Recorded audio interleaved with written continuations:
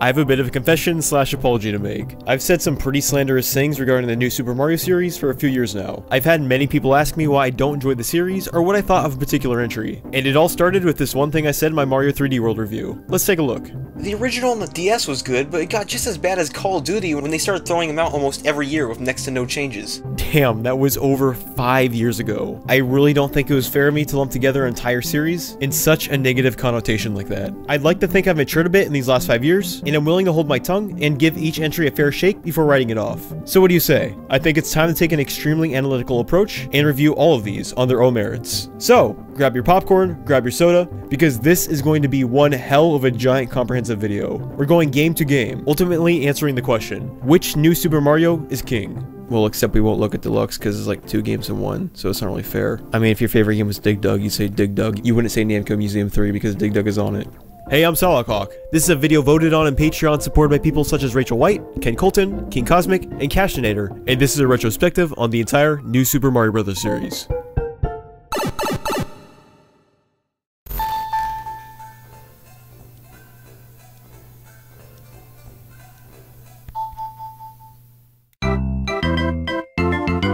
Released back in 2006 for the original Nintendo DS. The first game in the series is generally the highest regarded, and subsequently, the entry critiqued the least. While I'm not here to argue whether or not that's fair to its successors, I do think it's important to acknowledge the context in which this game came out so we understand why this is. Before the release of New Super Mario Bros., excluding ports and remakes, we hadn't had a classic 2D Mario adventure since Super Mario Land 2 in 1992. So yeah, it had been nearly 14 years since we played a brand new 2D adventure. The label of new all these games in the series share is little more than a joke by this point, but understand, at the time, the original New Super Mario Bros. was well worthy of its title. It really did feel like a modern take on a classic formula. Your objective was to get to the end of each stage, much like the 2D Marios of old, but now with all the elements we've been seeing in the 3D Mario games. For the first time ever in a 2D Mario, we could double jump, triple jump, wall jump, and even ground pound. Other stuff we saw in 3D Marios, such as modern enemies and red coins, also make their first 2D appearance here. Beyond modernizing the formula, it seems like the goal of the original NSMB was to welcome old fans back into the series. Namely, this resulted in two things. The first is everything is incredibly streamlined here. Worlds are nicely, albeit perhaps lazily, laid out in a clear path from left to right. Controls have again been simplified to just run and jump. The bottom screen will tell you exactly how far you are in any given stage. All of the world themes, even the two themes new to the series, those of which being the cliffside theme and the poisonous jungle theme, play it relatively safe, and will feel very nostalgic to veterans. You can select a world from the bottom screen and travel there anytime, and the story is more simplified than ever. The second thing that really separates this from the older games is the new Super Mario games are about as hard as a kindergarten's math quiz, and not just the DS one. All of these games, with maybe the exception of the last game we'll be looking at, are incredibly forgiving, which isn't inherently a bad thing. Speaking for myself here, I love a casual game time to time, although it is something that definitely separates the new from the old. I can make myself out to be some old, out-of-touch grandpa all I want, constantly going, eh, back in my day, but clearly Nintendo knew what they were doing when it came to modernizing the formula. Not only was the original New Super Mario Bros. the best-selling game on the Nintendo DS, but it's still, to this day, the best-selling NSMB game in the entire series the bottom line. If you're someone who prefers the later entries and questions why it's the first installment that gets all the praise, it's because the original not only established an entire series, but it redefined what a 2D Mario was, period.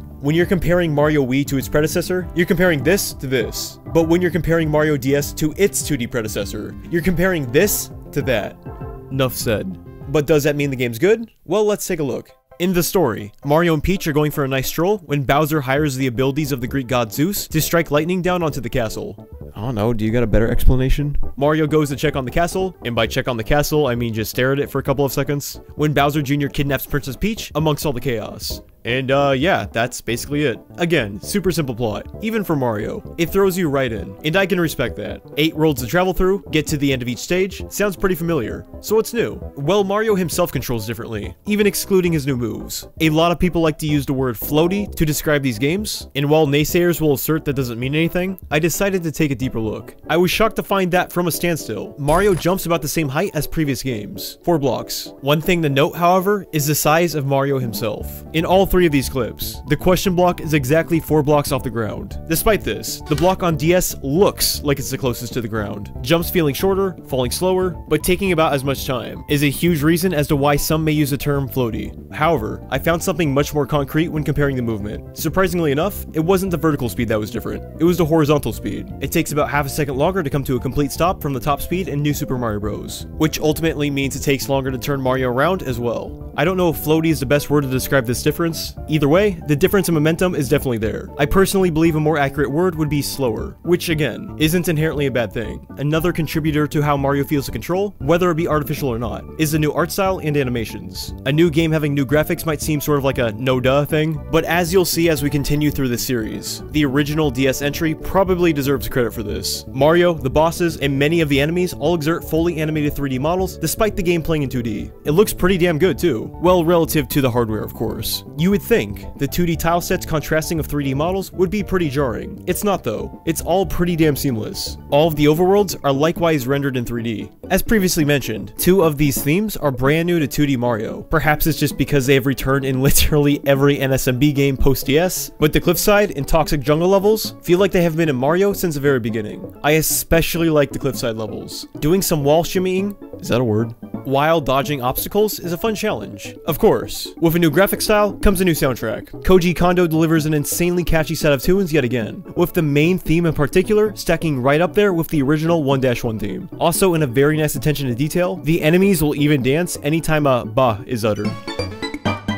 Outside presentation, there are a ton of new features introduced to Super Mario Bros. DS, like star coins. Yeah, they are so commonplace now, I think most people forgot this was the game they were first introduced. Loads of new enemies too. Ghost with boxing gloves, weird block robot dudes, morbidly obese boos, this guy that throws up snowballs, bombs of racially stereotyped lips, Gary the Snail, pissed off crows, scrunchy little worms, pond skitters, and pumpkins that make an oddly realistic skull crushing sound. New bosses as well. 2D Marios have always had a bit of a problem, with all of the end world bosses feeling more or less the same to fight. This is a bit of an issue still with the mini castles, since it is always Bowser Jr. The bosses in the large castles, however, are all significantly distinct from one another, my personal favorite being the Monty Mole in a tank. Why? Because it's a Monty Mole in a goddamn tank. With a new Mario, there is always a new power-up to be found, of which, New Super Mario Bros. happens to have three. The first, I can't believe I haven't mentioned it yet. All the advertisements for this game centered around it. Hell, it's even promoted on the damn box. If you haven't figured it out by now, I'm referring to the Mega Mushroom, one of these babies, and you're rampaging through an entire level, destroying just about anything you touch. Well, except for this one yellow block right here because fuck you. For many people, this was the defining feature of the original New Super Mario Bros. Pretty underutilized though, I gotta say. Outside the first level, the only other point in the game where you're really gonna see a Mega Mushroom are the Mega Mushroom houses you can buy with star coins. It's an underutilized power-up in general, honestly. Of the five new Super Mario Bros. games, six if you count Deluxe on Switch, only two have the Mega Mushroom. We need some more Mega Mushroom love. Even Mario Kart got rid of it. And no, I'm not counting Tour. In stark contrast to the Mega Mushroom, there is the Mini Mushroom. In a way, you could perhaps consider this to be a powered down. It's got a lot of pros and cons to it. On one hand, it makes you jump higher, fall slower, fit in tiny pipes, run on water, and in later entries, even run up walls. Contrarily, you can no longer kill enemies with a standard jump, and one little touch from any baddie and you're dead. In New Super Mario Bros. for Nintendo DS specifically, the use of the Mini Mushroom is how you access Worlds 4 and 7. I'm glad this idea wasn't reused, but for a little quirk in a single game, it's a creative touch. Lastly, there's the Blue Shell. If you duck while wearing one, the Blue Shell allows you to avoid being hit by things that inflict damage. The more notable change is the ability to turn into a spinning shell whenever you dash, allowing you to defeat enemies you come in contact with. The Blue Shell makes speedrunning levels a whole lot of fun. It has always been a top 5 power up for me. Also, I couldn't find any mention of this online, but it also helps you swim faster. I just wanted to, you know, let that be known. The Blue Shell really needs to make a comeback. The Mega Mushroom we've at least seen in the odd title from time to time. The Shell Suit power up on the other hand, has only ever been in New Super Mario Bros. for DS. I mean, unless we're counting Mario and Luigi, I guess. But one, that's not a main series Mario game. And two, that wasn't even developed by Nintendo. The last bit of new content to discuss is the Mario vs. Luigi mode and the minigames. Starting with Mario vs. Luigi. This is a competitive two-player mode where each player races to see who can collect the most stars. The levels, which there are five of, are small continuous loops. The bottom screen will periodically place a star and show you its location somewhere within the loop. You need to be diligent enough to keep your eye on the bottom screen to make sure you know where it's going to be, and to also make sure you're collecting coins along the way. Get 8 standard coins, and you'll be rewarded anything from a basic mushroom to its mega variant. Screwing with the other player is totally encouraged as well, because you have the ability to knock out some of their stars by jumping on them or attacking them with a power-up. Overall, I gotta say, why the hell hasn't this ever come back? This is such a crazy fun mode, and I cannot even begin to estimate how many hours my friends and I have sunk into this back during its release. I'm not gonna harp on this right now, but Jesus. This game mode is so brilliantly executed on all fronts, outside only having 5 stages. I can't think of a single gripe I have with this mode. Moving on, there are minigames, which is another mode that never came back. Most of these minigames are just the ones from Mario 64 DS. But hey, extra content is extra content, even if it's returning stuff. The major allure to these minigames is that for the first time, you can play them with up to 3 other people. You're able to compete for the most wins, or just do some free play. I don't remember spending too long with these. But again, additional side content is always welcome.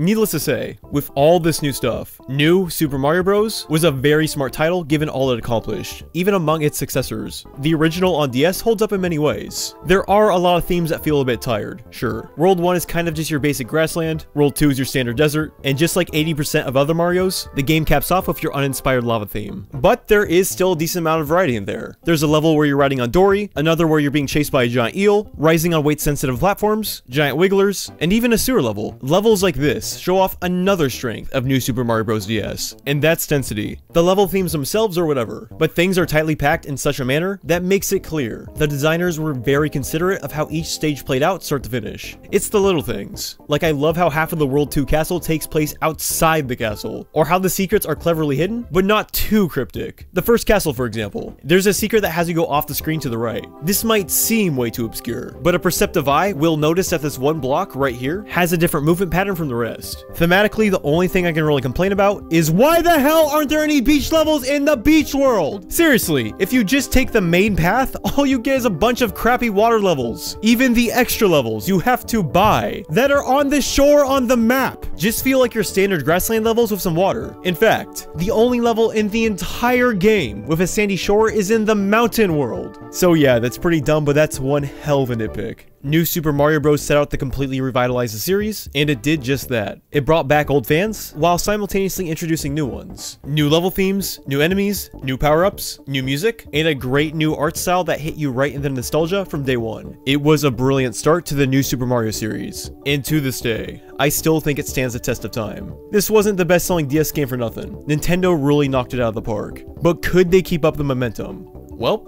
time for the next game.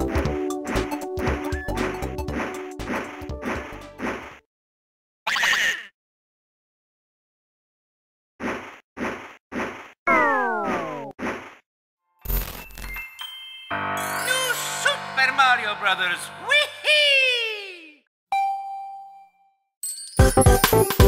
Well, with the success of both the first game and the Wii itself, it should basically come to no surprise that Nintendo would release a successor on their home console at the time. You know, I was really excited for this game when it was first announced. I don't know how many of you remember this, but during the Wii's prime, there used to be a channel on there called the Nintendo Channel. It was basically a channel where Nintendo would post all the newest trailers and previews. Whenever there was an E3, the stuff Nintendo showed off there would be here on the Nintendo Channel for everyone to check out. The Nintendo Channel was the very first time I heard about Mario Bros. Wii, and I was pretty hyped, for one reason and one reason alone.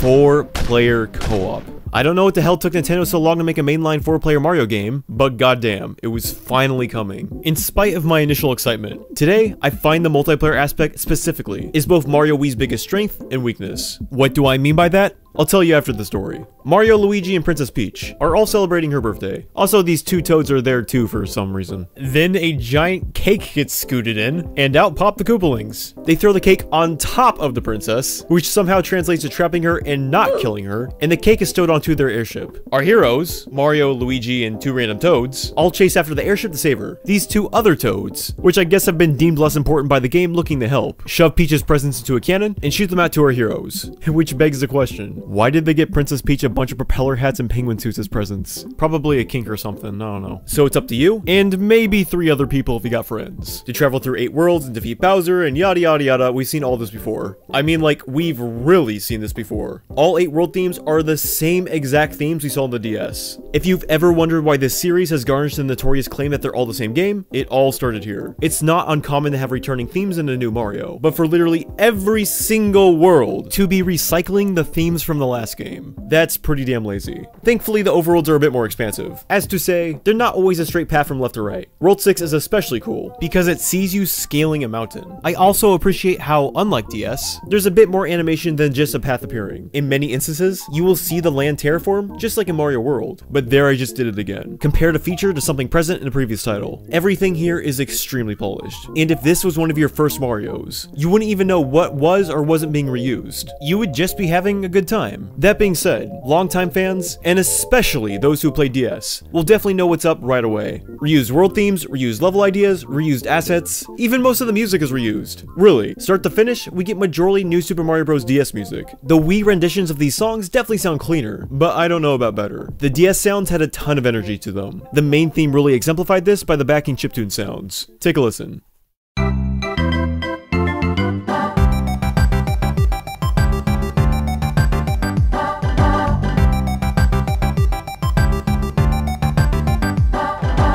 Now here's that same exact song on the Wii.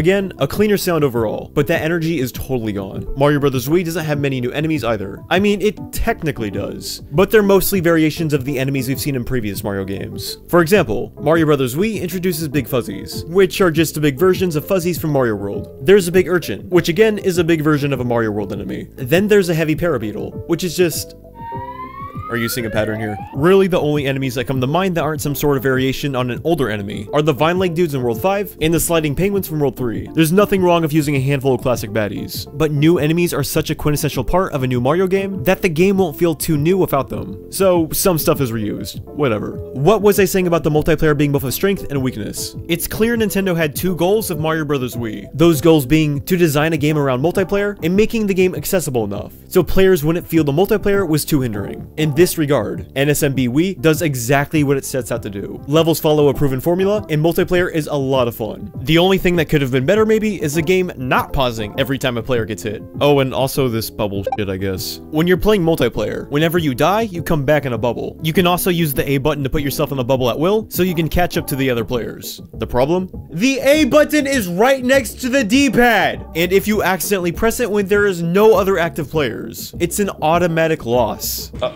oops. Oh, I'm just gonna. Well, no, well, there you go.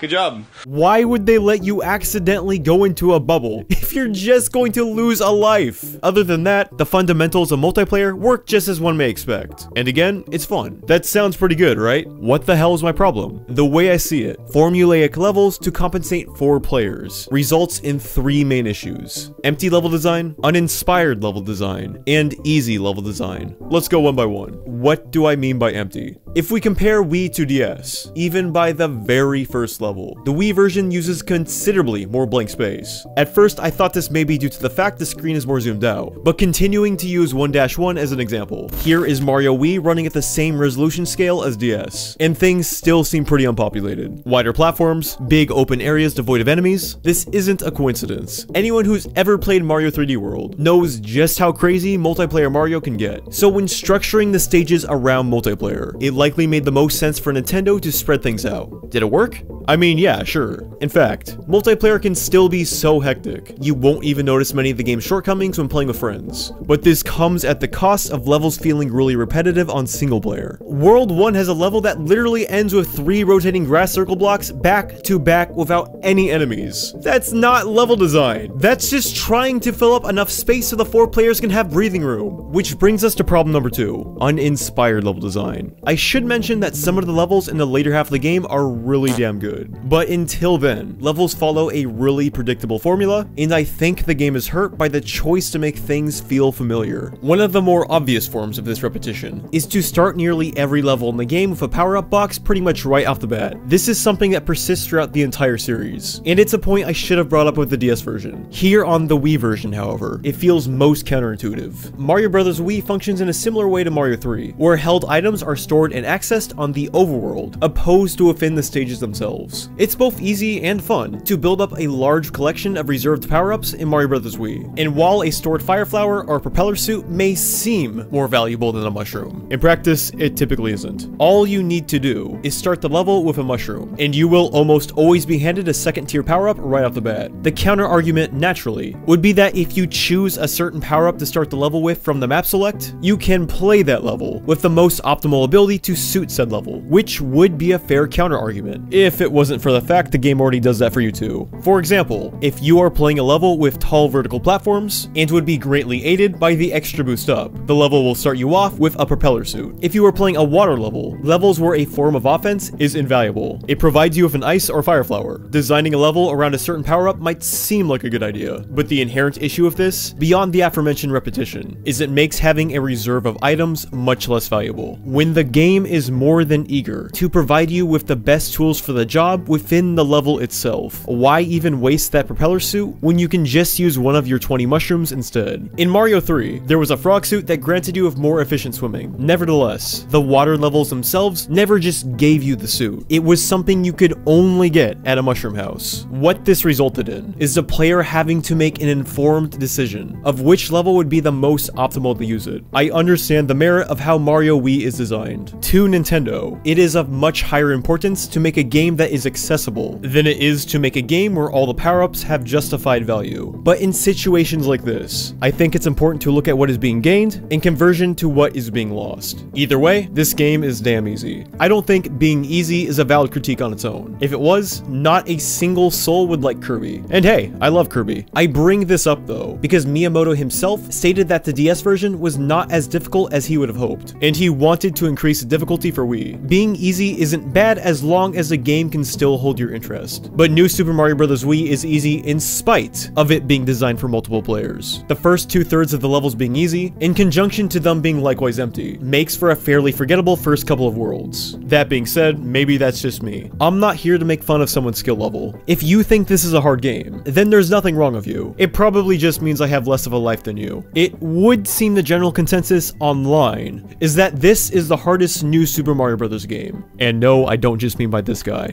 New Super Mario Bros. Wii is a tough game.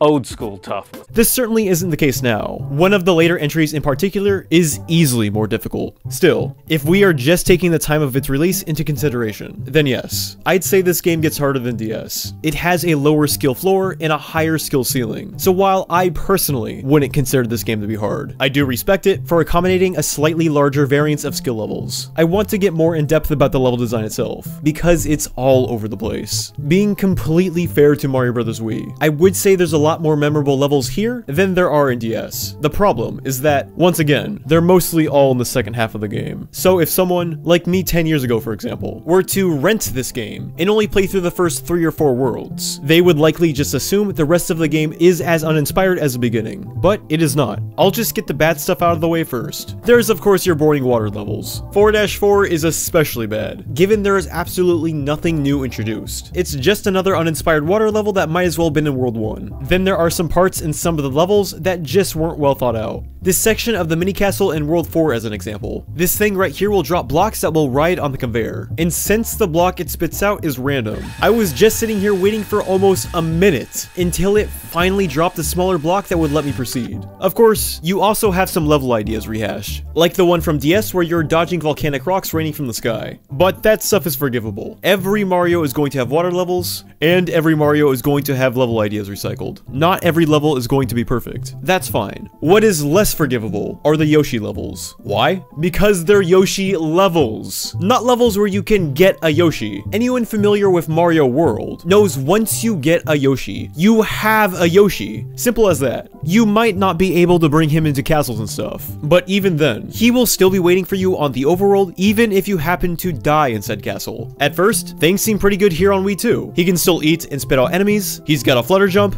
Ah man, Yoshi, it's good to have you back, bud. Then you beat a level. Wait, what? What the hell is going on? Why is he leaving Yoshi? What the hell is this game's problem? They can't just bait and switch us like that. Seriously, the game's all like, hey, you like Yoshi, right? Yes! Yes! Well, that's too bad you gotta get rid of him. He's on the damn box for Christ's sakes! And he's only in like 5 levels! The same amount of levels that have the damn darkness gimmick! Oh yeah, Super Mario Wii has those, and it gets real carried away with them. 5 whole levels! Where you have limited visibility. There was one in the ghost house, and another where you're waiting on this slow as hell raft, but the worst one. In fact, the worst level in the entire game is 8-4. It's a darkness level, and it's a water level. Oh, Oh goody. It's like scraping your knee and shoving salt in the wound. If you are an inspiring game designer and are thinking about putting a level like this in your game, then I have a tip of advice for you. Don't! I know things are sounding bad, but reiterating what I said before, it's not all bad, and that late game stuff is damn solid. Just gonna auto-fire all the cool stuff I remember. A level where you keep enemies off your raft, actual beach levels, airships return from Mario 3, skeleton coaster, Darude sandstorm the level, a level where you're bouncing on clouds, a sewer stage where you can change the water level, the inside of a volcano that somehow manages to feel completely different from all the other cave levels, and a mini castle with a giant spike dildis in the center.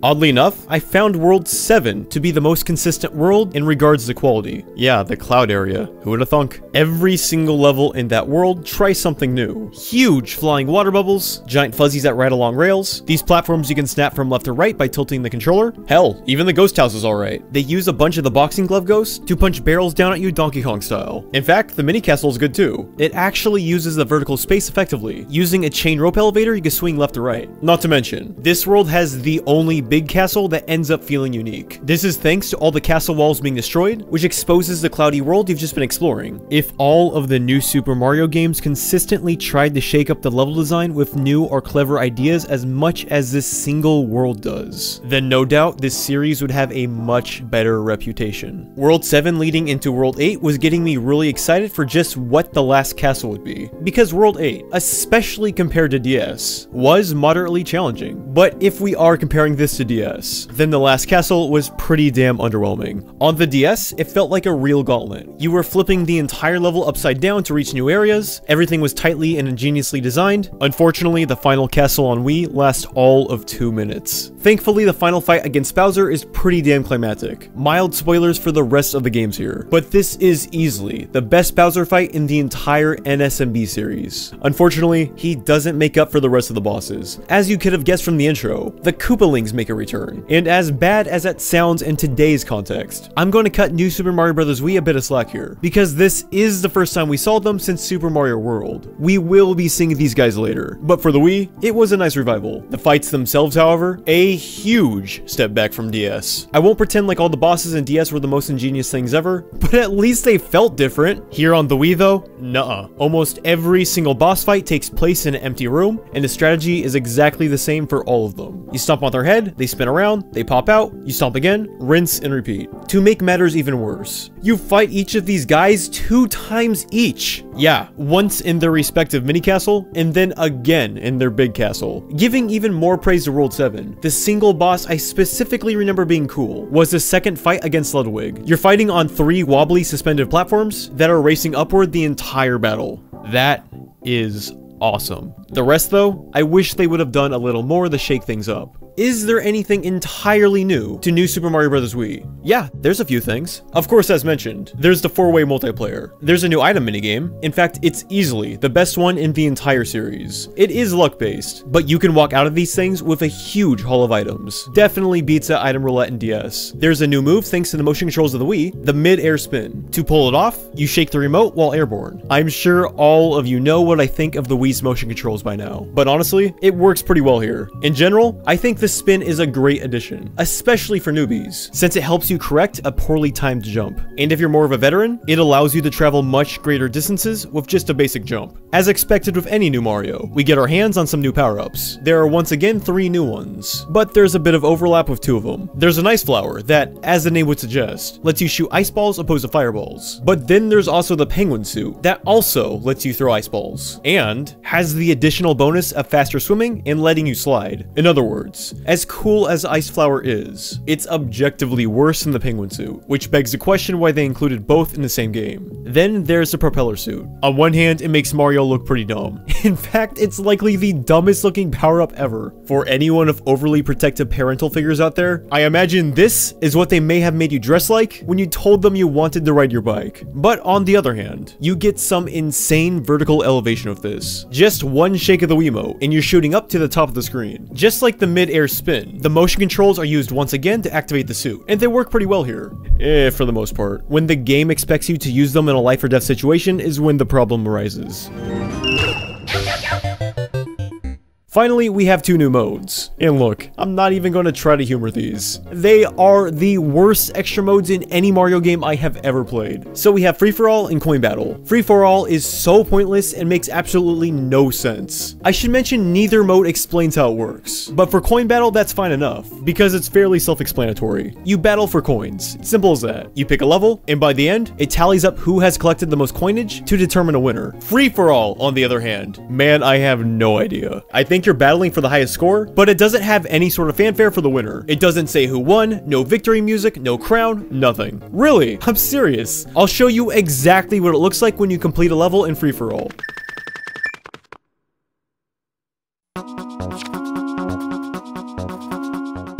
What the hell was that about? Nothing happened. Then it says team finished? Was this mode not called free for all? Why wouldn't you just play the main game then? What is the point of this mode? A really big downgrade from the extras in DS if you ask me. Scratch that. If you ask anyone who is sane.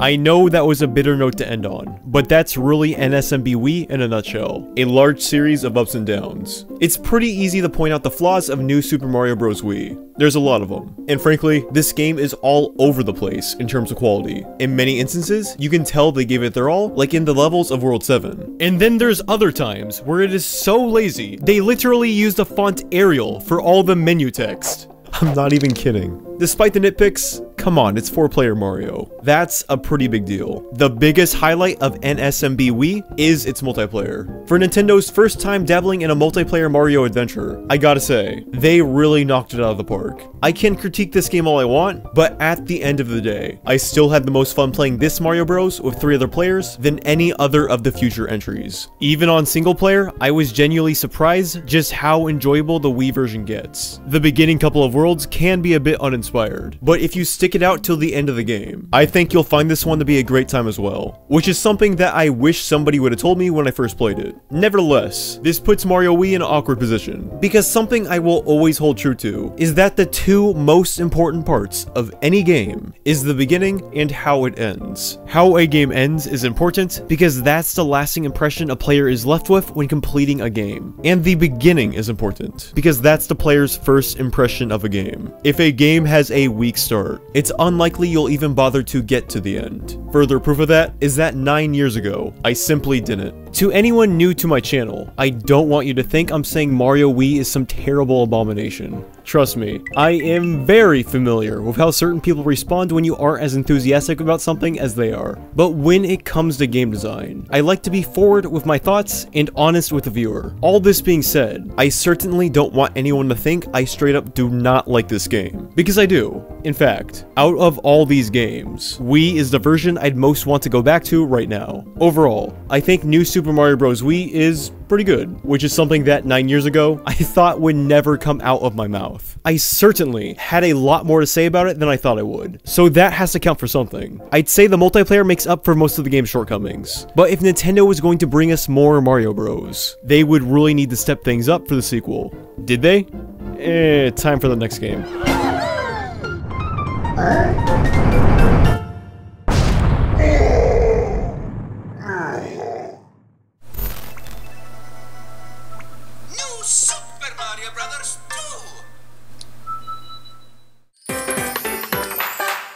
If there's anything I've noticed about Nintendo over the years, it's that they seem to respond solely to sales and little else. I mean, more sales means people want more games like this, right? This seems like sound logic, until you realize Paper Mario Sticker Star sold more than both Thousand Year Door and 64. Right away, you can probably see why this philosophy is null. The sales of Sticker Star itself led to the most underperforming game in the series, Paper Mario Color Splash, a more or less follow-up to Sticker Star that nobody asked for. I bring this up because Mario Bros. Wii and DS are two of the best-selling games on their respective consoles. Wait, no. Two of the best-selling games, period. Hey look, they're right next to each other on a list of best-selling games. How about that? But while those games did extremely well and people enjoyed them, the major consensus was that, even by the second entry, things were beginning to feel a bit samey. People were just done with New Super Mario Bros. for now. Once again though, Nintendo responding to sales and not public opinion, announced not one, but two new Super Mario games during the same E3 and to the dismay of many, these two new games looked like anything but new. Seriously. Many fans, myself included, didn't even give these games a fair shot. I mean, again, two new Super Mario games during the same exact E3. It's clearly different from the new Wii U Mario game that Reggie talked about earlier. We're going to be disregarding all of that and try to look at both of these on their own merits. But I wanted to make sure to give you context going in. That aside, let's look at the story. We see the brothers at Peach's castle waving goodbye to the princess so they can collect coins and giggle like idiots.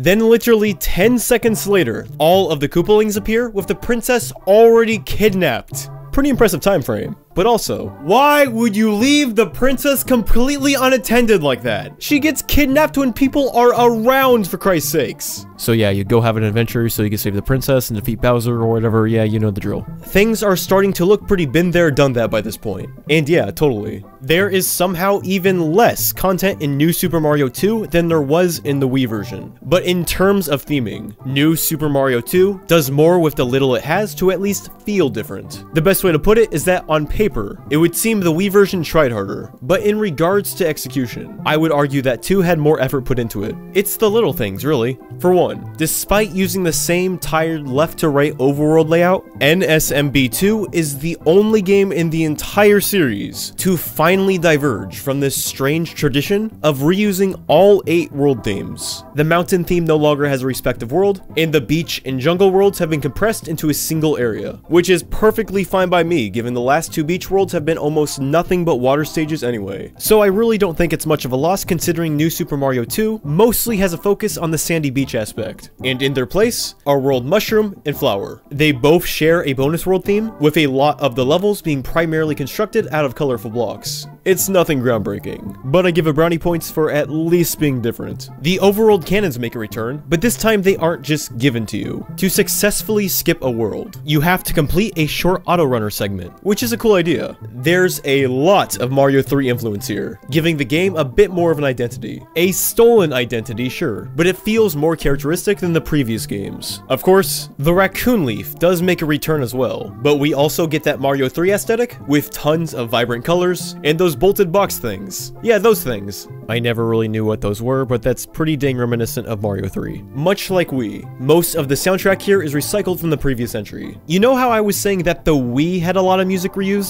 The overworld theme, the athletic theme, cave theme, mushroom house, boss music, probably some more I'm forgetting. But the point is, Mario Bros. Wii reused a lot of tunes. Well, believe it or not, New Super Mario 2 has even less new music tracks than Mario Bros. Wii did. The standout deviation, however, is they added a significant number of do's and bahs.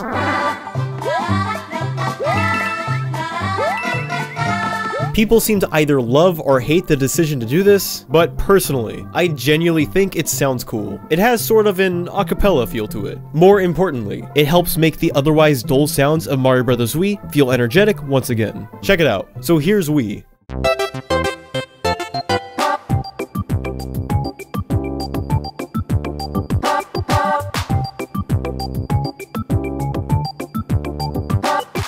And then here's two.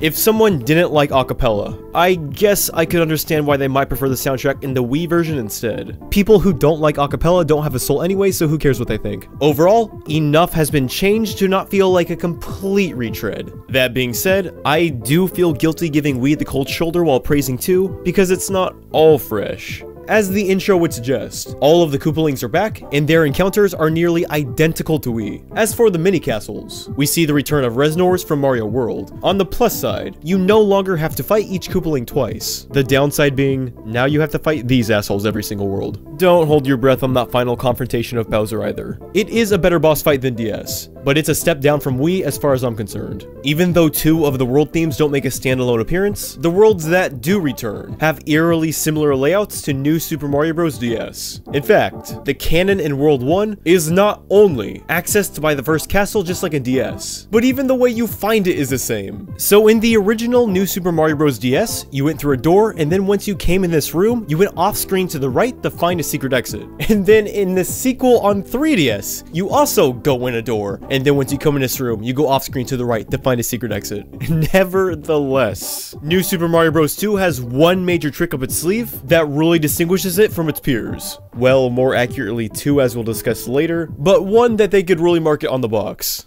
Coins everywhere! Coins from the sky, coins from the ground, coins from bricks, coins from Hammer Bros, red coins, blue coins, giant coins, butt cheeks, coins from pipes, coins from your head. Coins! Adding a ton of coins might not seem like a huge deal on its own, but it's all justified by the simple addition of a global coin counter. Yeah, that's it. Just a counter. Moreover, a coin counter might not seem like a game changer, but much like the crown in 3D World, something that should be little more than aesthetic at best. It can completely change the way you approach the game. Not only will it keep track of how many coins you've collected throughout the course of the game, but it keeps an individual coin counter high score for each stage. Due to this, I found myself doing something I never do in a Mario game. Backtracking through a level just to find coins I may have missed. In this sense, New Super Mario Bros. 2 plays sort of like a collectathon, which I don't think is a bad change if it makes it stand out from its predecessors. You would think that the coin gimmick would get old pretty dang fast, but Nintendo added a plethora of new ways to get coins. There's golden rings that make enemies start sprouting out coins, such as making Lakitus throw out coins instead of Spinies, or even Koopa shells leaving a trail of coins whenever you throw them. Then there's the POW blocks, which will emit a coin for every block they destroy. There are these gold blocks that shoot out coins the faster you run, and geez,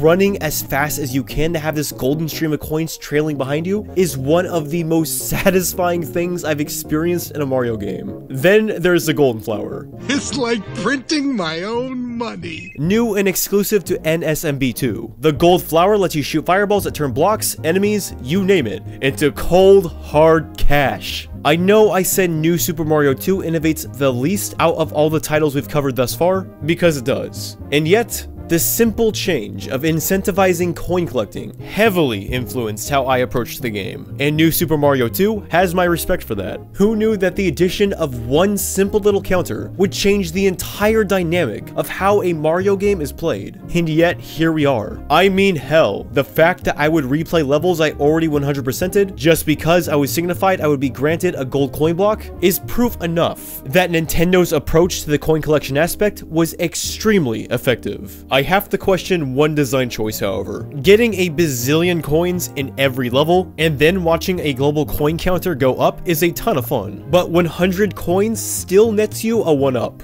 You can probably see where this is going. With the new focus being on racking up a coin count, it makes the live system more trivial than ever before. By the time I finished World 1, I had 57 lives. 57 lives after World 1! And the levels aren't any harder than the ones we saw on DS or Wii, so it's not like you're realistically going to lose that many. Or at least the main levels are pretty easy. I have heard horror stories about the DLC for this game. To further trivialize it all, every single world still has the one-up houses. Look, for a second time, I'm not here to mock the skill level of anyone watching. But who the hell is going to be so bad at New Super Mario 2 that they'll be like, oh Oh, thank God, a one-up house! I was running so low! Even beyond the coin collection aspect, the element of this game that stood out the most, believe it or not, is the level design. I don't know what to say. They are just well-designed levels. Unlike the barren wastelands of New Super Mario Fallout Edition, or at least the first half of that game, the level designs in New Super Mario 2 feel very deliberate and concise, even as early as World 1. More importantly, they are all distinct. In general, I found the stages in New Super Mario Bros. 2 to all be pretty clever. There's nothing crazy, but it's a step above the almost copy and paste presets we're used to seeing in New Super Mario. For example, in the desert world, there's a whole level that takes place on top of totem poles. I've never seen that in a Mario game before. World 1 has a level that's almost entirely made up of pipes, which yeah, isn't anything we haven't seen in a Mario game before. But that is a very unconventional level trope for World 1. World 5 had a Sky Garden that straight up reminded me of the Sky Garden in Sonic and Knuckles, which is pretty cool. World 3 had a level where you're running on water the whole time, also very cool. Even a lot of little things create the impression of divergency, like using a cliffside backdrop during sunset for a pipe stage, or having trees in one of the World 1 stages. Yeah, sure, it might just be a bunch of trees, but for one, believe it or not, none of the other new Super Marios have giant trees within the level layouts themselves. And two, you can fly on top of them and find hidden secrets. Honestly, it's crazy how just a little aesthetic touch can change the entire feel of a level, but I suppose that puts it in line with the coin gimmick of the game. Actually, just this game as a whole. Small changes, that make a world of difference. Even though little has been updated, all of the updates present make for a surprisingly fresh experience. Plus, it just feels good to play. Even if a bunch of stuff is being recycled, there weren't that many bad parts. Hardly any water stages in comparison to its predecessor. There are no dumbass dark levels, thank god. And the stuff here, for the most part, let you take them at your own pace. And the engine is still solid. I mean, it's basically the same as the previous two titles. Though I did notice I had a couple of Sonic 2 chemical plant ass moments where I would get quote unquote squashed on seemingly nothing. Like, what the hell happened here? As far as everything else, the sound quality is nice, graphics look great for 3DS. In fact, it seems this entry specifically had the most vibrant colors. Those two bonus multiplayer modes from the Wii version are gone, but that can hardly be considered a loss. Instead, we have a coin rush mode, where you try to accumulate the most coins within three random and co-op returns, in the form of wireless play. I do question why the hell you have to share the same screen if you are literally on two separate pieces of hardware, but the multiplayer otherwise is structurally sound. As a whole, I'm at loss for words really, because I look at this game, I see that it innovated basically nothing, and yet there I was having a great time. So many of these levels are just plain fun, simple as that. It's just a fun game. I don't know how else to put it. People may think I'm going way too easy on New Super Mario 2, and that's probably true, but the bottom line is this. The changes made, as minor as they may be, changed not only the way I approach the levels, but the tone of the entire game, which is something that I can only say about one other entry in the entire series. But we'll get there soon enough. It's the same, it's different, it's New Super Mario Bros. 2. I'm willing to forgive a lot just because of the fun factor alone. This specific entry appears to be the most disregarded in the entire series because people tend to focus on what little it added opposed to what it did. And hey, it's hard to blame them. But coming from someone who played all these games back to back, New Super Mario Bros. 2 is better than one may expect. And personally, I'm glad I gave it a shot. But the consensus was that people didn't care either way, because it seemed that this was little more than a stopgap until the next big entry in the series, launching on a brand new Nintendo console. Surely, this brand new hardware would finally offer us the perfect Mario Brothers experience, right? Well, time to move on to the next one and find out.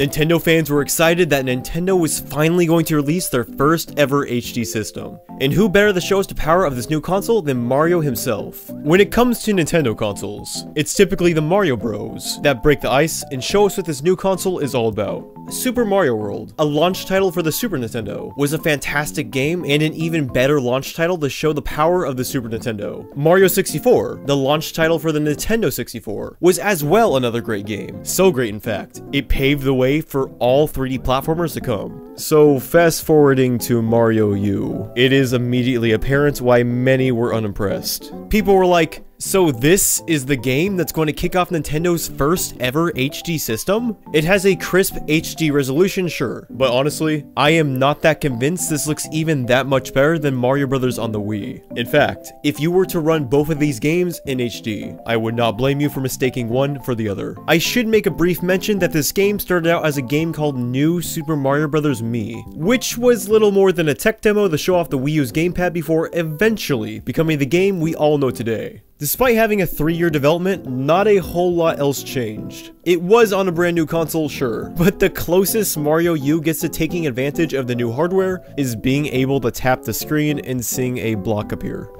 Even in an interview, Iwata expressed concern about making sure this one really felt different since New Super Mario 2 had just come out. But the developers were adamant that this would be the thing that really distinguishes this game from the others. This key feature, it was simply just so memorable, so inseparable from the title's identity that, um, they flat out got rid of it in the Switch port. Well, so much for being a key feature. And if you're of the mindset that this feature couldn't have possibly been on another console, then you should go tell that to the Murphy gimmick of Rayman Legends. Something that was specifically designed for the gamepad, but was still included in other ports.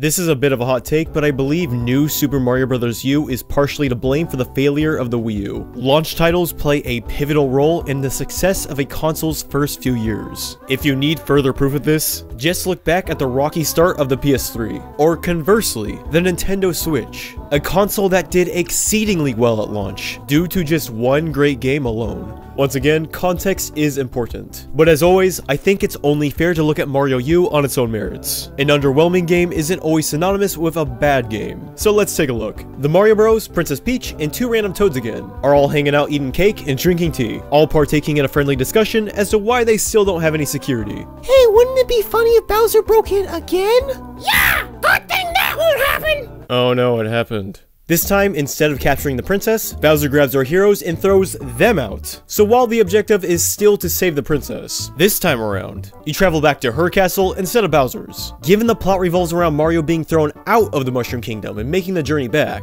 I was hoping there would be an excuse to finally mix things up in terms of progression. You know, like a role reversal of sorts in the order of worlds you explore. Like maybe you would start out in the lava world and then by the end of the game you finish off in the grassland. But nope, it's the same exact themes once again in the same exact order. Yeah, this is the fourth new Super Mario, and we're still using the whole grassland, desert, snow world, etc. But hey, there's at least one difference. Every world has, like, food names now for some reason. It doesn't translate to anything in the levels themselves, unfortunately. World 2 gave me some false hope being called Layer Cake Desert. I mean, even the overworld had giant frosted cakes. The levels themselves, however, just basic desert levels, again. And before I get several comments about this, yes, Mario World did have a similar issue. However, I don't believe doing the same thing twice suddenly makes it okay. If anything, I think the opposite is true. At least you see the gradual transformation from a pleasant castle in the green field to one surrounded by lava. By the time your adventure comes to an end, the castle is completely infested in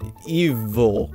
That's what evil looks like. As for the layout of the world itself, it's an actual world. Taking a page from Super Mario World, we have one giant conjoined world, instead of a bunch of individual areas you select from a menu. Pretty damn big too. I think I'd still have to give the upper hand to the overworld in Mario World though. The progression in that game seemed a lot more natural, whereas in Mario U, it is very clear where one theme ends and another one begins. The worst offender is the transition to the desert world to the ice world. No joke, you're in a scorching hot desert, and after climbing a small ladder, you're in a freezing tundra. Also missing is a Star Road equivalent, which tied the map together nicely in World. In Mario U, we instead have a bunch of pipes that launch you everywhere, and eh, it works. Just feels sort of uninspired. There is a Star World of sorts here, but that's just a post-game World 9 similar to what we saw on Wii and 3DS. Although I do think the new sprawling overworld is a great set piece, and would likely make for a cool looking poster for your room or something. How it's all laid out feels disjointed in practicality.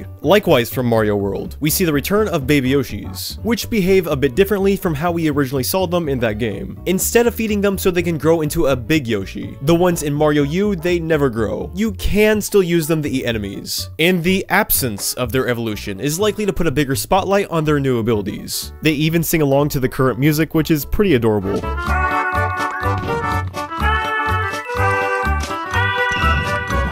Oh, and get this. There are normal Yoshis here that you still can't take out of the respective levels. But these baby Yoshis you have to carry. These, you can take out of the levels. Okay, so if the concern was to restrict Yoshi to specific levels to make the most out of him, then let me ask a perfectly reasonable question. Why the hell can't you keep the normal Yoshis if you can hold on to the baby ones? Did they realize how little sense this made when adding the babies? Anyways, the blue baby Yoshi can spit out bubbles to trap enemies, the pink one can inflate itself to float upward, and the gold Yoshi will provide light in dark areas. And you know what a light emitting Yoshi means? That's right, those lovely darkness levels are back. They even brought back my favorite, underwater darkness levels. Oh boy, it's like scraping your knee in the same exact spot as last time and shoving even more salt in there. Mario U only has one new power-up this time, that being the Flying Squirrel Suit. It allows you to glide and sprout upwards by shaking the remote. A single new power-up this time might sound pretty lame, and yeah, I suppose it is. But Mario U still manages to have the most power-ups in the entire series. This is thanks to the extra world containing both the Penguin Suit and Propeller Suit. I genuinely love how this is handled too, because just like the example I gave in Wii when talking about Mario 3's Frog Suit, they have managed to take these two power-ups that used to be fairly common, and make them feel extremely valuable by holding their hand until the very end. You can only get these in World 9. This may seem insignificant, but it's fascinating how valuable they've made both of these suits simply by restricting them to the end of the game. My jaw literally dropped when I went into the item house expecting the typical mushroom and star, but instead was greeted with two items I didn't even know were in the game. The additional perk to this design choice is that it addresses a problem I had in Wii, which was the redundancy of having both an ice flower and an objectively better power-up that could also shoot ice. Much like how Mario 3 justified having both the raccoon leaf and the Tanuki suit in the same game by limiting the use of the Tanuki suit to a finite number, it is likewise justified in Mario U since the penguin suit is extremely rare. In Mario U, you cannot get them in the basic overworld mushroom houses, or just replay a level that had the suit like you could in Mario Wii. Again, these suits are only in the World 9 mushroom houses, a minor addition, but a respectable one. Mario Bros. Wii U introduces a fair number of baddies as well. Time for the roll call. Dragon Eels, Pink Walruses, Deformed Goombas, Robofish, Silly Putty Squirrels, and yes, that purple rascal Nabbit. Nabbit will randomly appear in select levels, with a bag of stolen goodies with him. If you select a level that Nabbit is in, you have a chance to catch him for a P Acorn, a variation of the Flying Squirrel Suit that lets you fly indefinitely. You know, kind of like the P-Wing in Mario 3. Presentation-wise, things are good. Simple, but good. The complete tone of Mario U and its worlds are less sterile than Mario Bros. on Wii. On the Wii version, things were nice and clean, but not a lot was going on. But here in the Wii U version, there's a lot more going on in the background, a bigger variety of platforms, and in general, better use of color. Speaking for myself here, but I prefer the vibrant neon colors of New Super Mario Bros. 2 because I think it lends itself better to an environment that feels more fun, for lack of a better word. But Mario U still has a great art style all the same. Music-wise, eh, once again we have most of the Wii songs here. There are a few new ones, but otherwise, the desert music is the same, the beach music is the same, the cave music is the same, the jungle music is the same. It's lazy, but it's what you'd expect by now. That aside, things are sounding pretty alright so far. There's more new stuff than before, a giant world to explore, that just rhymed, baby Yoshis, but as I'm sure you've caught on by now, I have a huge obsession with the level designs themselves. So how does Mario U fare in in that respect. At first, I thought better. Compared to the Wii, the first couple of worlds are more condensed and thought out, which overall I'd say is better, but this change also makes multiplayer less manageable. Mario U strikes a weird in-between because if you're playing single player, the level designs still don't feel quite as distinct as the handheld entries. But since the levels aren't as open as Wii, multiplayer in a large group doesn't work as well. Honestly, I'd say Mario U is a two, maybe three player game. First impressions were good though. It wasn't until I completed the game and looked back, did I realize I retained next to nothing playing Mario U. I tried to think about what levels I remembered. I remember a level where you climb a beanstalk. There's a secret water level that's pretty cool, since it actually strays away from all the NSMB presets we're typically used to seeing. So brownie points for that. Lastly, I remember that one stage it looks like a Van Gogh painting. I wish they did more inspired stuff like this more often, but yeah, it's only done in this one stage. And as far as I remember, I think that's about it. I might have been harsh on the Wii, but for Christ's sake, at least the Wii version had a decent amount of levels I remembered. Don't get me wrong, there is a decent amount of stuff I didn't mention yet that I do remember from Mario U, but the reason I didn't mention them is because they are all repeats of stuff we have already seen. We had an auto-scroller of Parabeetles, so you has a level of Parabeetles. We had an icicle cave, so you had an icicle cave. We had a level where you keep enemies off your raft, so you had a level where you keep enemies off your raft. Mario Wii had a sky level of giant fuzzies on rails, so you has a... Look, you get the point.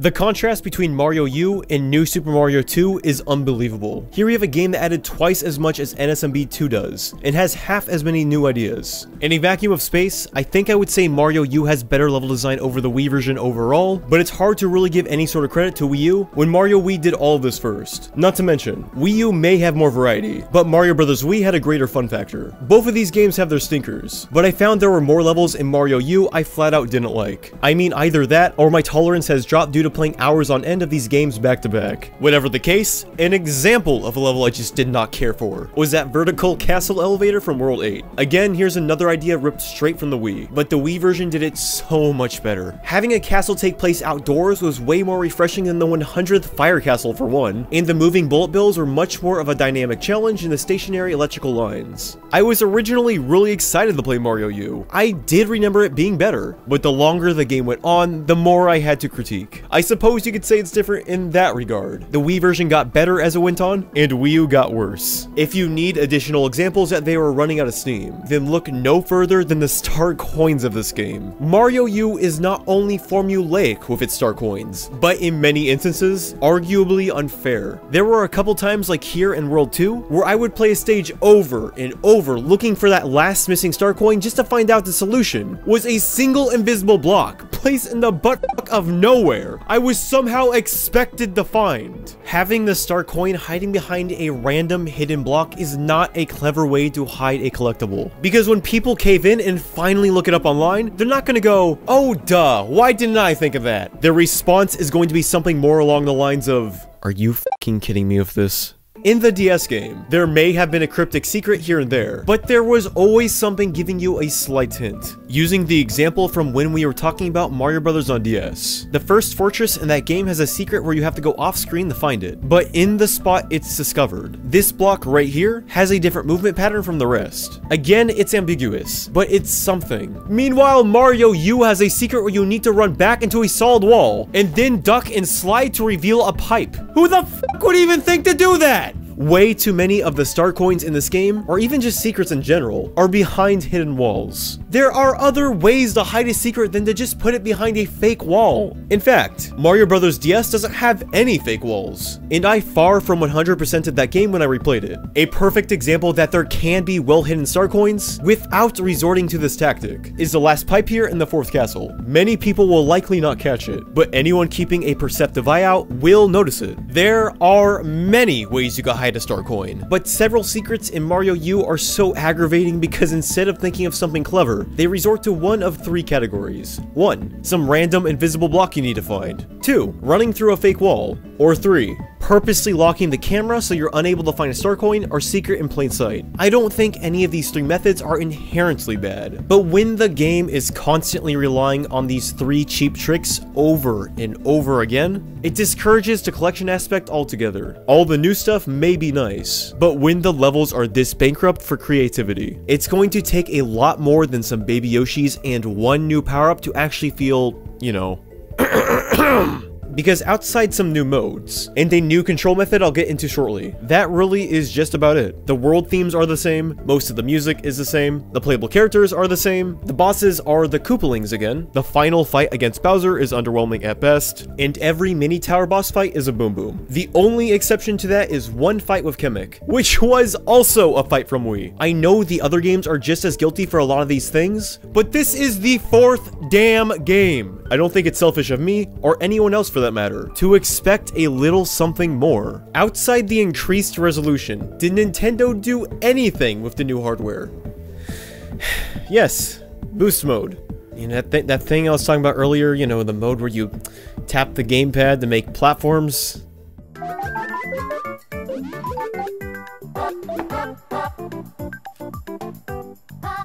For f***'s sake, even Murphy, the only bad part of Rayman Legends, was better than this.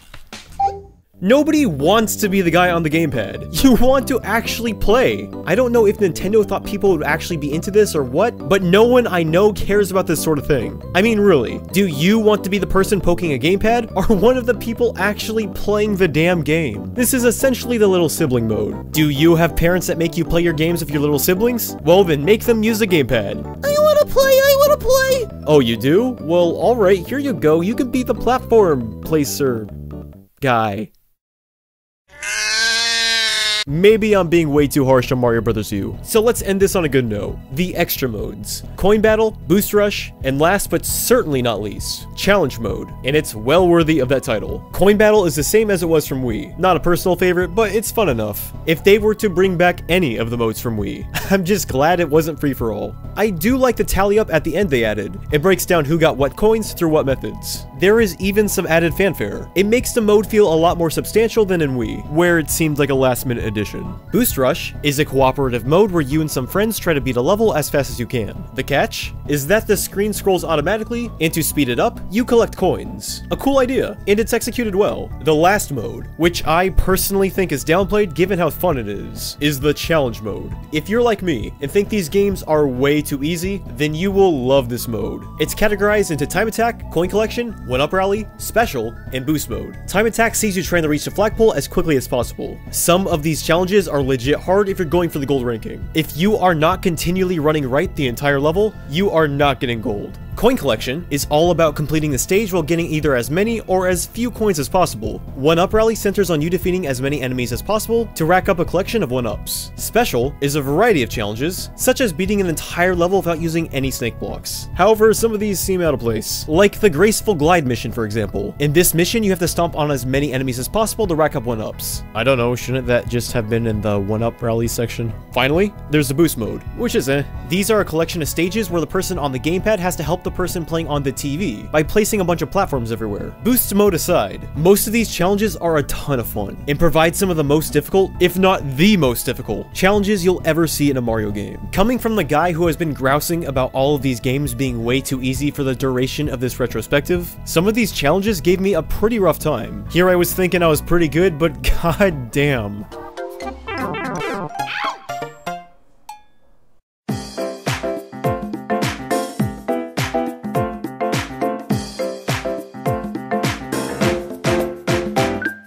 When I started scripting this entry for New Super Mario Bros. U, I was sincerely shocked how negative it was. The biggest revelation I had while playing was, geez, maybe I was too harsh on the Wii. And I'm not even saying this is a bad game. I had a really fun time playing through it. Definitely was never in a bad mood or anything, but I suppose that's just what happens when you play nothing but New Super Mario games for an entire month. If you didn't keep up with this series, then Mario U would probably seem like the best one, because it takes a little bit from each of the previous three installments. At the end of the day, it is a good game, but we, the consumers, deserved better, and the Wii U definitely deserved better. With a launch title like New Super Mario Bros. U, the poor thing hardly stood a chance. If this is your favorite NSMB game, I don't want you to feel bad for my own disposition, because I do recognize what it does well. If you like the game, then please continue to like it. As for me, I had fun. Nonetheless, I personally don't think it has enough of an identity to stand out. Whether you liked it or not, people were just done. Outright. We all had fun with at least one of these games, but they are all just too similar to be invested in the future of the series. Especially if their next game was... DLC. Ugh. I am so freaking burnt out on these games, alright? I am mentally done. But I need to finish what I started. It's time we talk about the last game in the series, New Super Luigi U. There is no way a game this late in the series could possibly feel any different. R right? Well, I guess let's take a look.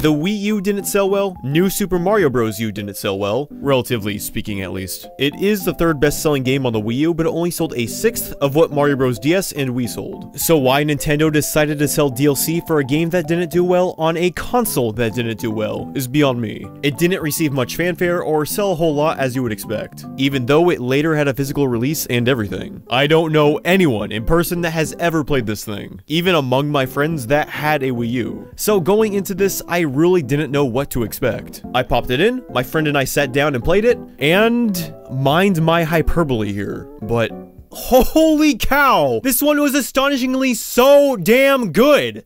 I couldn't believe it. My friends couldn't believe it. We were constantly laughing, constantly being surprised by a new Super Mario game. It's actually challenging, the levels are memorable, the multiplayer didn't make me want to kill the person next to me, the new gimmicks make you play it differently. It's a pretty dang well thought out game. It's just good. What the hell is going on here? Luigi U? The worst performing entry in the entire series. Really? This is the one that changed my mind. This is the good one. Where do I even start? Uh, the beginning, probably. Okay. We have the same exact opening as the previous game. Bowser grabs our cast of characters and throws them out of the castle. The only difference? Mario isn't there. Instead, there is just his hat. Cue all the overly dramatic game theories on how Mario is dead or something. Your goal is still to save Princess Peach, which was a horribly missed opportunity to use Daisy instead. After the intro, you are thrown into the overworld, and that's when you notice, wait a second, this is the same exact overworld as Mario U. At first glance, it might be tempting to call Luigi U the laziest of the new Super Mario Bros. games. Stating that is probably, um, half true. It reuses the same music, assets, bosses, and even overworld as the standard Mario U. That being said, Luigi U is similar to NSMB2 in the sense that it was given an inch and it takes it a mile. Luigi U has just but a handful of changes and designs the entire game around them. The most notable of which being Luigi himself and the minuscule timer. Starting with Luigi, unlike in Mario U, he controls much differently than his older brother. He is significantly floatier and performs much higher jumps. This alone would be enough to make the game have an entirely different feel. But the second biggest change you will be hearing that in each and every level throughout your adventure. In each and every level, you are given exactly 100 seconds to reach a flagpole, incentivizing you to speedrun your way through this adventure more so than ever before. A slight difference is that Luigi U doesn't use schmeckens, unlike the rest of the series. The other Mario games may have timers, but they count down faster than a real timer would. What this means is that 100 seconds in the other games is approximately 1 minute, whereas here in Luigi U, it is genuinely 1 minute and 40 seconds. But to be completely honest, I think I would have preferred the original timer speed. I love how these levels incentivize you to run through them, but I would complete some of these with a whole minute to spare. In other words, I would have personally liked a bit more pressure. In any case, the stress is still there, in a good way. Constant speed, constant energy. I swear Luigi U was designed to cater to people with extremely short attention spans. So yeah, Luigi U was designed for me. Luigi U is also the very first game in the series to add a character that actually behaves differently. Nabbit. Yes, you can indeed play as that little butthole from before. He is a really unique addition. His catch is that he can't be killed by enemies, but alternatively, he doesn't have any power-up transformations. If you try to pick up a power-up as Nabbit, he will just put it in his bag, which is a great way to rack up some lives, because every item you nab as Nabbit will be converted into a life at the end of the stage. And trust me, you're going to need those, because Luigi U can get pretty dang hard. Luigi U really benefits from the addition of Nabbit because it makes the multiplayer manageable, dare I say, required, for two reasons. The first being that since Nabbit cannot get hurt by enemies, the path the person playing as Nabbit will take is likely to be much different than the path the person playing as Luigi will take, which obviously will clear up some more space between the players. The second reason being that multiplayer interactions have been reduced, which personally I think is a good thing, because I don't know why picking up and throwing people is added in the first place. You always do it by accident and it leads to someone's death every single time. Nabbit is great because two players would simply not work on these more condensed levels without him. I mean, this basically plays like two-player Meat Boy. So the last thing you want is to constantly be screwing each other over. My friend, Tony, is a complete ass when we play co-op games because he always messes with me. I mean, when we were playing the Wii version, he was doing like this. He stole my Yoshi! He didn't even fucking need it! He already had one! Isn't that like one of the Ten Commandments or something? Thou shalt not steal, thou shalt not murder, thou shalt not hijack another man's Yoshi! But since they removed some of the interactions like being able to pick up and harm other players, we were able to play this game together and have a good time. And if Luigi U can be both incredibly difficult and be good as a multiplayer game, that is a tremendous triumph as far as I'm concerned. I have heard some people complain about the timer despite the entire game being designed around it, but especially for multiplayer. I think this is a good change, because players are more pressured to work together and focus on the levels themselves. All of that stuff is great, but the real reason Luigi U is so dang good is because these are flat out some of the best level designs we've seen in years. Every platform, every coin, every enemy feels like it was deliberately placed, down to the tile. For every NSMB game I covered, I probably remember something around 50% of the stages. Some games less. Being honest, it's hard to remember every last level when most of them in these games are not distinctive in many ways outside of their respective world theme. Luigi U, on the other hand, I think I remember almost every last stage in the entire game. They are all unique, they are all interesting, and they are all fun. So how exactly do these levels feel different? I already established there aren't many new assets. So what could Luigi U possibly do that we have not seen a million times already in the other Mario Bros games? Hmm. A beach level with little ocean huts. A level made out of rainbow walls. A level about Ferris wheels in the sky. Ice Bros making platforms for you by freezing fuzzies. A beach level that start to finish has a bottomless pit without any grass tiles or water pools. A level made up of snake blocks. A gauntlet of creepy staring Easter Island heads that try to push you back. A level where you're in a cloud the whole time. A level made up entirely of ginormous water geysers. A sunny outdoor castle where you're being chased by a giant bullet. A deep jungle level where you try to outclimb toxic rising grape juice. I believe also making this the first ever jungle level with a vertical orientation in all of Mario. And a level that is being created while you play it. All of these are ideas that are completely new to the new Super Mario series. And there is even more I didn't mention. Some might dismiss all of this as being gimmicky, but given how stale things were starting to get for the series, that can hardly be considered a negative. Even a lot of the darker levels are okay. Light Up Lift Tower is a perfect example as to why this is. The dark levels still have much of the stage hidden in darkness, but the sources of light are spread out enough to not hide any of the more crucial elements. Additionally to the great level layouts, items truly do feel useful this time. Many of the stages don't hand out a power-up in the very beginning. Hell, there were a few levels where I didn't get a single power-up at all, even for the ones that do have items right away. Starting with an item still has value because it saves you time you would otherwise be spending in said level trying to scramble for items. In the other games, this obviously wasn't a factor because you weren't always crunching for time. But now that the entire game is designed around time, every second counts. Even something as simple as trying to get an item at the start of a level could potentially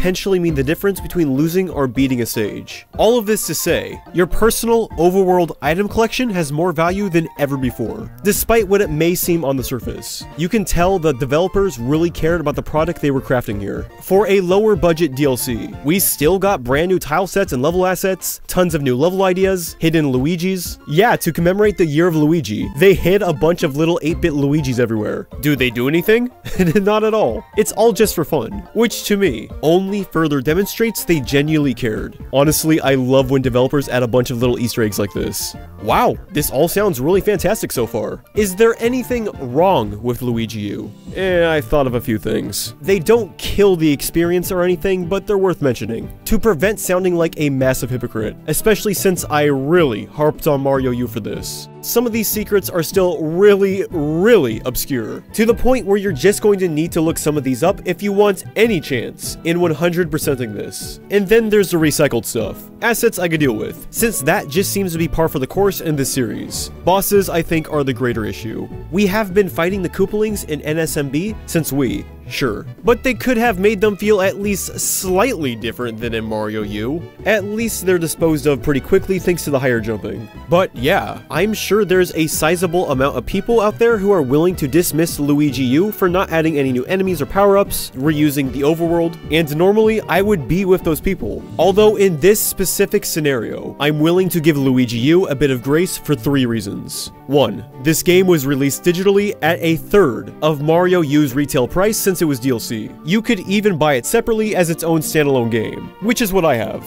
2. It's no secret that the Wii U was not exactly the hot seller Nintendo was hoping for. I mean, the Wii U sold roughly half as many units of what the GameCube sold, which, if you remember, was already selling worse than the PS2 and Xbox. Nintendo was not as financially comfortable as they are now with the Switch. I mean, if the best a new Super Mario game can do on this console is a total of 5.7 mil between all countries, they probably weren't willing to give Luigi U the money it needed to truly be something 100% unique simply because they likely would not see a return on their budget. And 3. For what they had to work with, which is to say, not much in terms of new stuff. They really gave it their all. As showcased, most of the heavy lifting is left to the level design. And again, it's damn good stuff the best in the entire series if you ask me. People seem to judge Luigi U in the same way they judge NSMB2. They determine the value of these games on how much new stuff they added, opposed to how it's actually used. And I think that's unfair, because why are we really playing a Mario game at that point? Whether or not they are sequels, we like to play games that feel like a new experience. And if they are able to accomplish that with the level design alone,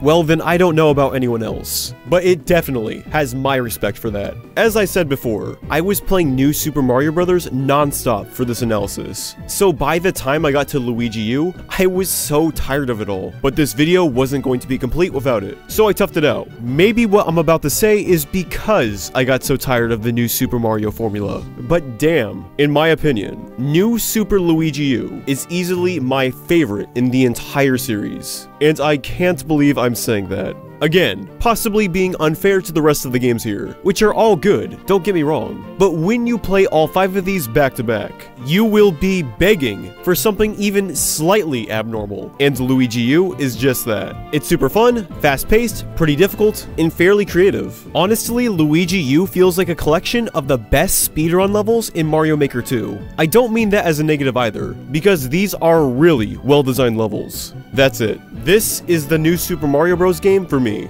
and it doesn't even have Mario Bros. in the title.